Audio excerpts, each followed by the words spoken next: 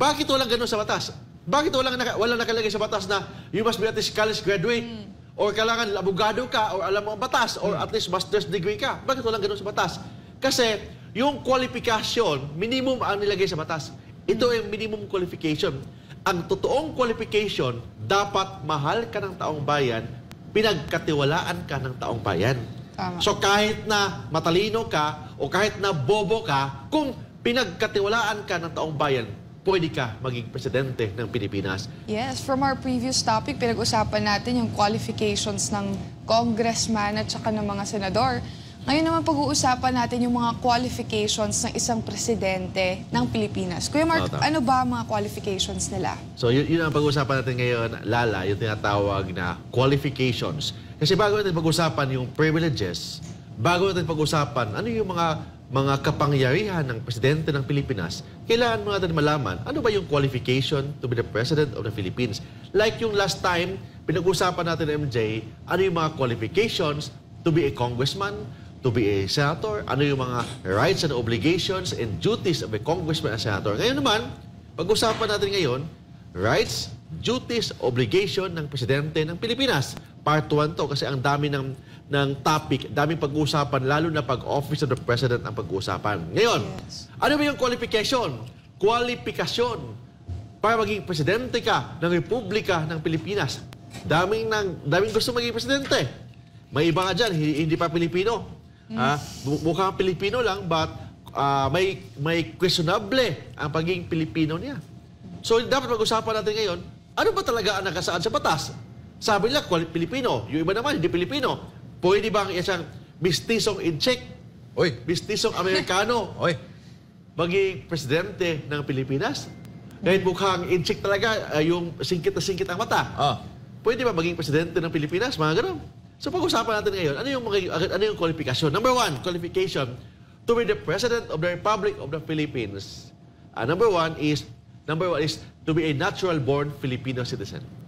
Hindi pwedeng citizen ka lang or naturalized, naturalized born. Kailangan naturalized, ah, kailangan natural-born Filipino citizen. Hindi naturalized, hindi hindi yung tinatawag parang convert. Kailangan natural-born Filipino citizen. And pangalawa, you must be at least 40 years of age on the day of the election. But May word na on the day of the election kasi nung panahon ng 19 bago ang 1987 Constitution, ang issue diyan yung ah, yung issue ni ni Ninoy Aquino kung qualified ba siya maging senador kasi at the time nung nung campaign pa hindi pa yata siya 35 years old. Naging 35 siya on the day of the election lang. So ang tanong dyan, ano bang qualification with respect to the age? Hindi on the day of the campaign, but it should be on the day of the election. That's why you must be at least 40 years of age, not on the day of the campaign, but on the day Of the uh, election. of the election. So, election period ang determining point, hindi yung assumption. Kasi iba yung election, iba yung assumption of office. Pwede ka naman naging 39 ka pa lang on the day of the election, but maging 40 ka, mag-assume ka ng presidente ng Pilipinas. Hindi ganoon. Sabi ng batas, you must be at least 40 years of age on the day of the election. Yes. And pangatlo, may qualification ba sa education? Wala. Sabi lang na batas, you must be able to, To read, read and write. Marunong ka lang magbasa, marunong ka lang magsulat, pwede ka na maging presidente, hindi kailangan college graduate. So may issue dyan, college graduate pa hindi. Pag, ah, issue yan sa politika. Political question yan na pag-usapan ng mga taong bayan kung qualified ba ang isang college graduate, lawyer, college dropout na maging presidente. Kasi pag batas ang pag-usapan, ang requirement ng batas, you must be able to read and write.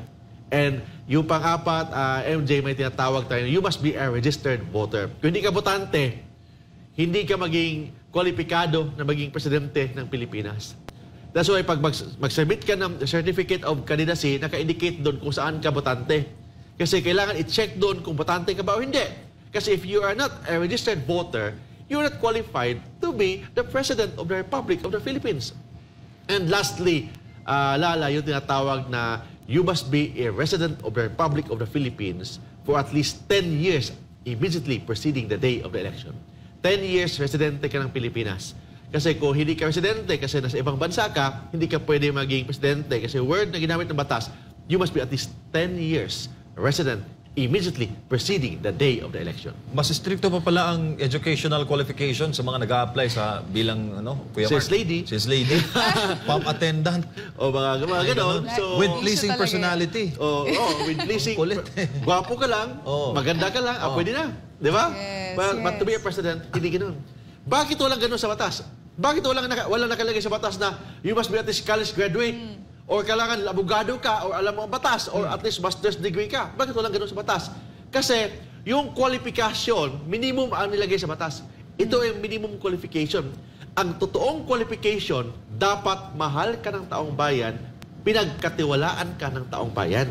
Tama. So kahit na matalino ka o kahit na bobo ka, kung pinagkatiwalaan ka ng taong bayan, pwede ka maging presidente ng Pilipinas. Kasi that is a political position.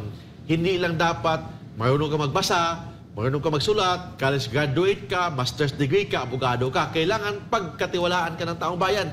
That's why yung ibang mga qualification wala sa batas yun. Kasi pinasa ng batas sa taong bayan.